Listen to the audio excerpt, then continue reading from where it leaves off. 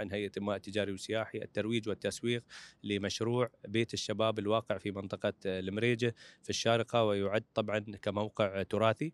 هذا المعلم وهذا المكان وهذه المنشأة تم تطويرها بالكامل حسب توجيهات صاحب السمو حاكم الشارقة. تم تطويرها وإضافة خدمات ومرافق وأصبحت اليوم يعني مصنفة كذلك كمنشأة تحت فئة الثلاث نجوم. ما كان لديها تصنيف سابقا.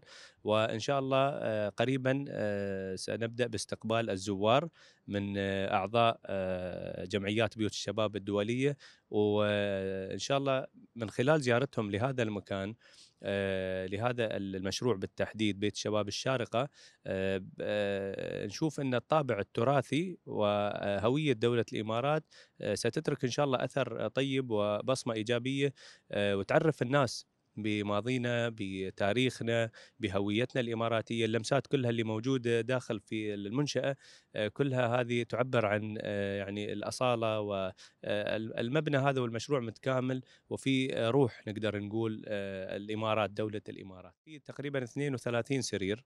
وبيوت الشباب عادة ما تكون يعني بهاي الطريقة موزعة. في غرف بسرير واحد وفي غرف بسريرين إلى خمس أسرة في كل غرفة. وهي دائما يعني تستقطب هذه الفئة المنتسب أو المشتركين اعضاء بيوت الشباب الجمعيات الدولية عادة هم هذا النظام متعودين عليه يعني ويرغبون بمثل هذه ال ال ال الآلية في أو التوزيع التوزيعات اللي موجودة في المنشآت.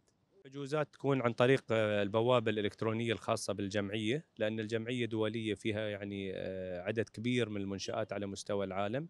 ولكن في دولة الإمارات الحمد لله يعني هذا المشروع مميز. مثل ما ذكرت مشروع تراثي وجميل يعني مختلف تماما عن المشاريع الثانية. ونحن كلنا في الإمارات يعني نكمل بعض كل المشاريع يكون في تنوع. مشروع تراثي مشروع حديث.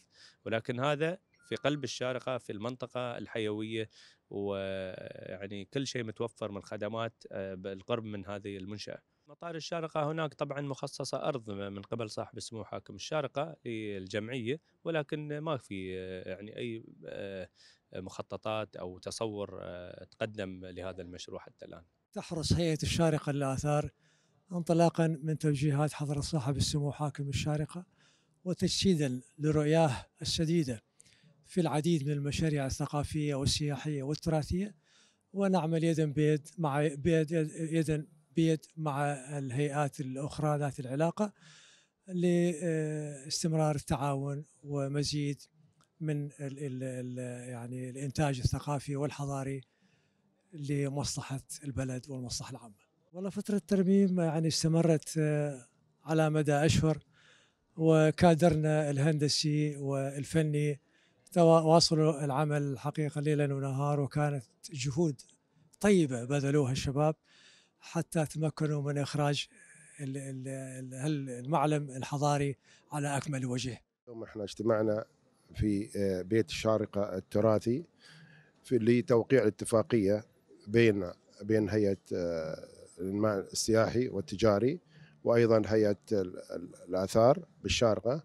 لتعتبر آه، أساس للتعاون المستقبلي بين آه، الأطراف الثلاثة وإن شاء الله راح آه، بالتعاون هذا راح نجذب السواح وخاصة من فئة الشباب وأيضا السياحة الاقتصادية لإمارة الشارقة.